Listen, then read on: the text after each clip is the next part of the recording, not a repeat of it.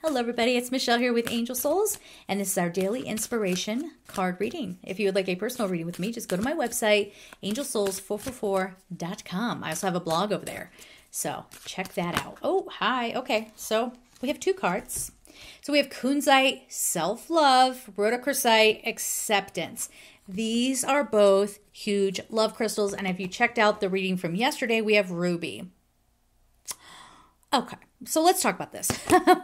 I just hit the mic again. It's kind of in the way. I don't know. So, acceptance and self love. This is self acceptance. I've been taught my entire life that I'm not good enough, or that I'm not smart enough, not pretty enough, not whatever, not capable enough. And now I realize that is ridiculous. But it's more than that. This is a huge indication that love Love is the answer, right? But approaching things with love is the shift we need to make. Uh, approaching people with love that does not equate to being an enabler. You ever have somebody who comes up and they just they're just rude and they just scream in your face and you're like, okay, I need more information. And the person you're with is like, oh, just just send them some love. I get that in the comments all the time. They need love. Send them love. Tell me you're codependent without telling me you're codependent. Or tell me that you're a gaslighter without telling me that you're a gaslighter. Don't diminish that, all right? But you can set healthy boundaries and still be coming from a place of love. You you can try to put more love into not only your interactions, but in how you approach work, love partnerships. And what's interesting, I keep saying it's not what you think.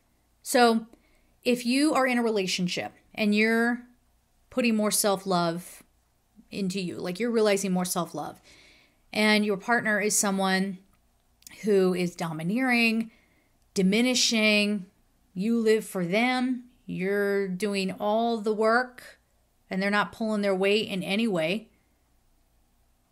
and now that moment of self love might find you walking out the door.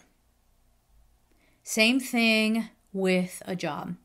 You might suddenly wake up and go, You need me more than I need you.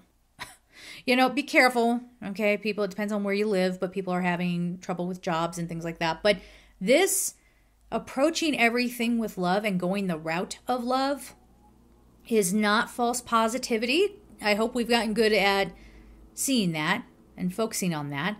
Uh, to that end, be careful of um, the dragons on the bad dragons on social media.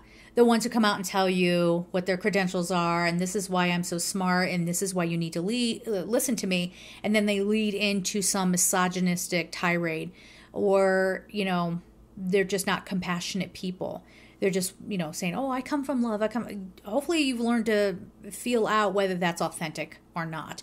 And that's a big part of this too. Where is the authentic love? And who's just saying what we want to hear. All right? We're going to leave it there. I'm sending you all so much love and take care